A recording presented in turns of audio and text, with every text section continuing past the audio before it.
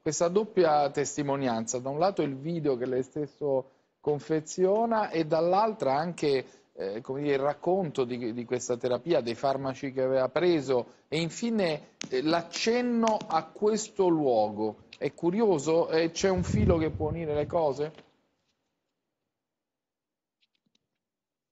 Beh sì, c'è un quadro clinico diciamo, che, che, me, che, tiene in piedi tutto questo. Immagino che gli inquirenti avranno parlato con gli psichiatri di Barcellona, Pozzo di Gotto, dove la signora è stata in cura. È un servizio pubblico, eh, sarà stato una persona che ha, non può essere che stato uno psichiatra ad avere eh, prescritto questi farmaci, eh, torno, torno, a dire sono sconcertato dall'idea che in una famiglia con un bambino piccolo, con una, una signora così sconvolta, eh, e il documentario del 3 di luglio lo, lo, lo mantiene questo, questo sospetto, allora, che la si lascia professore, andare, dove. Eh, vederla ragionare piccolo, così ci, no, di... ci, fa piacere. Eh, io glielo farei vedere sì. eh, tutto intero, non è lunghissimo. E poi lei finisce questa analisi perché questo documento a cui lei fa riferimento effettivamente è interessante. Buongiorno a tutti. Eh, stamattina mi sono alzata e ho, e ho scritto qualcosa. Eh, e avevo in mente di, di scendere in studio e, e, e, fare qualcosa, impostare tra virgolette qualcosa per, per fare uno, un riepilogo eh, di, de, di, tutte le mie emozioni, eh, di, di, quello che, eh, che, vorrei dire a mio figlio ora che ha quattro anni e che inizia diciamo, a capire un pochettino eh, di cose in più rispetto a qualche mese fa e qualche anno fa. E, ehm, e ho detto a Daniele che lo avrei raggiunto, abbiamo fatto colazione, e, ehm, io e Gioele siamo scesi 5 minuti fa prima di, di collegarci con una diretta. E, volevo fare questo video per poi riprenderlo e utilizzarlo eh, in un video che vorrei fare con una nuova traccia che art style che abbiamo eh, in testa di fare. E, ehm, niente, sono scesa, c'era qui Daniele, c'era qualche nota che, che girava nel piano roll e allora gli ho detto di, di tenere solo qualche nota dell'inizio perché appunto vorrei leggervi questa cosa qua.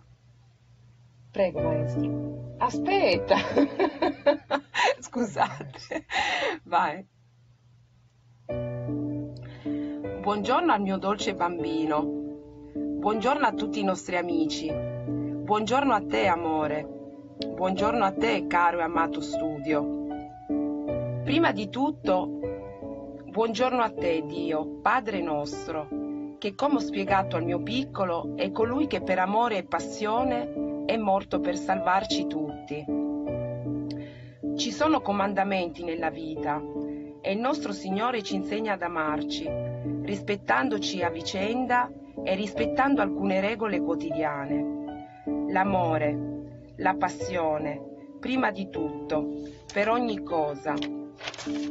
Ci sono momenti nella vita in cui ci smarriamo, momenti in cui abbiamo bisogno di stare un po' soli. La solitudine è anche un modo per crescere e meditare, fa funzionare il nostro cervello.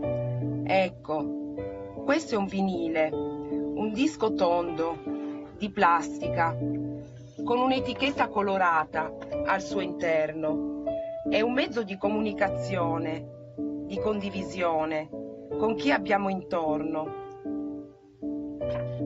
Tante persone, iniziando con questo oggetto rotondo, hanno poi costruito un impero importante, lavorando e dando lavoro a tanti, trasmettendo amore, emozioni, passione, divertimento, sentimento. All'inizio non esisteva il disc jockey, perché quando andavi in discoteca c'era una console e lo stesso proprietario che aveva i dischi negli appositi cubi incassati. Poi a poco a poco gratuitamente qualcuno si offrì ad esporsi davanti al pubblico ed esprimere se stesso. Da lì poi diventò pian piano un mestiere e quindi anche retribuito. E con questo vorrei spiegare uh, al mio bambino eh, l'inizio del nostro mestiere, eh, partendo proprio da questo, da questo oggetto di plastica che poi alla fine, come ho detto, è un oggetto importante. Professor Crepè, eh, scusi, abbiamo mandato integrale, però veramente vorrei che lei mi aiutasse a capire e poi sentire anche eh, De Giovanni.